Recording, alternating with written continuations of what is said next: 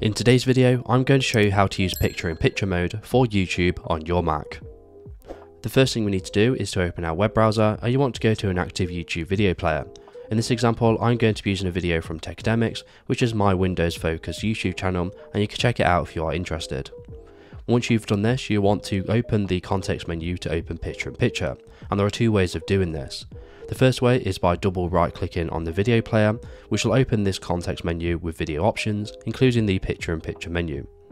Now you can also access this menu by holding the control button on your keyboard and instead we want to double left click and it will open the same menu. So once we've done this you want to click on picture in picture and as you can see the video player has now been taken out of the YouTube browser and pinned to our Mac desktop where we can go ahead and place this wherever we would like and you can even place this off the screen. Now this video player can also be resized by dragging from one of these corners and this video player will always be pinned on top of all of your applications on your desktop.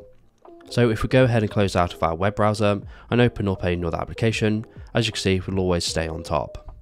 Now if you want to control this YouTube video, the only thing you can do in picture in picture is to play and pause it. However, if you want to control the timeline, you need to go back to the YouTube video and control it from here.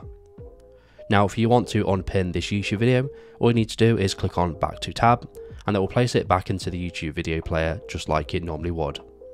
And that is how you use picture in picture for YouTube on your Mac. So if this video is helpful please leave a like and if you have any questions or comments you can leave them below.